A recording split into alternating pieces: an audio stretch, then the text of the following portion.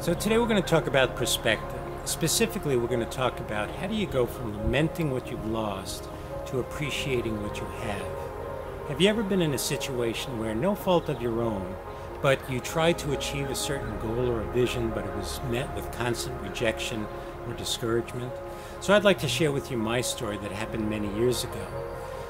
I had two dreams. One was to start a family, and the other one was to get a book that I was writing, God is My CEO, published. However, those two dreams quickly became a series of many defeats and discouragements where months turned into years, and it became very discouraging for both me and my wife. However, things came to a head in November of 1998 where finally two things positive happened. Uh, my wife got pregnant again, and my agent was able to find three publishers in New York City that were open to hearing me pitch this book. So I worked a trip to New York City to make this pitch happen, and the bottom line is it was one, two, three strikes, you're out.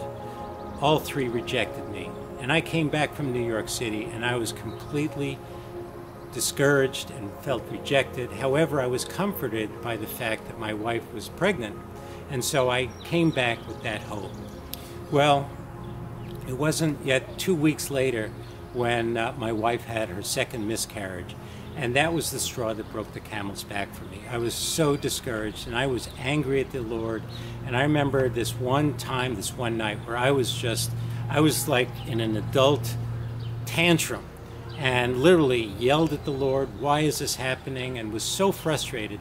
Literally, I, I, was spent, and I just, like a child, literally went to a heap, totally exhausted.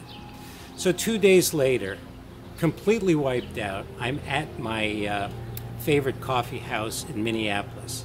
And I'm sitting there at this table, and I've got my journal in front of me and I'm opening it up, and and literally I'm just staring at a white piece of paper. I have nothing to show.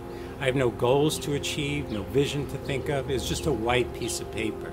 So I remember writing this letter to the Lord on this white piece of paper. I wrote, Dear Lord, as of this moment, my future is a white canvas and I'm totally available in the present. I'm not sure where I'm going, but I'm absolutely sure of my foundation. Today I'm thankful for what I have. And then what I did is I just literally I'm staring at this white piece of paper and I asked myself, well, what do I have? Mean, I had a foundation in my Lord Jesus Christ. On the next rung, I had love, peace, and joy. I had my wife, family and friends, health, financial security. I actually had a lot of things to be grateful for. So, long story short, two years later, both I was able to get God is My CEO published, and that opened the door for me to write several other books. And my wife gave birth to our first child. So I'll leave you with this. Three years later, I'm outside at night with my daughter, and we're up looking for the stars. And unfortunately, it was a cloudy night.